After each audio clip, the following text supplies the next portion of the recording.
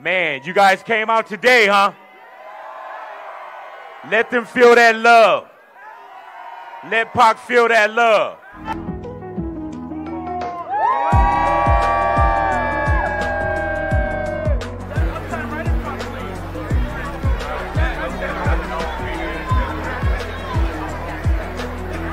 As the proud sister of Tupac Amaru Shakur, the daughter of Mutulu and Afeni Shakur,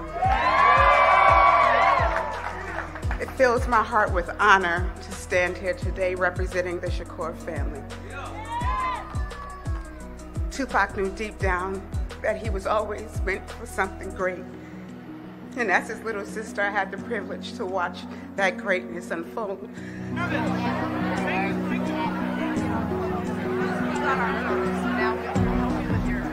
This is a global icon. He's the most important hip hop icon we've ever had in the 50 years of hip hop.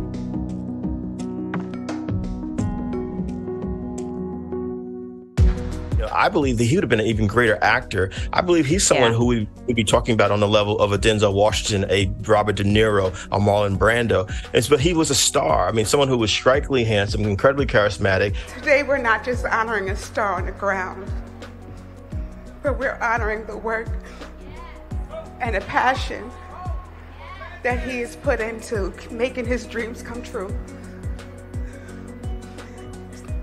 His heavenly star will shine a little brighter today. And once again, he has made us all extremely proud. We love you, Tupac.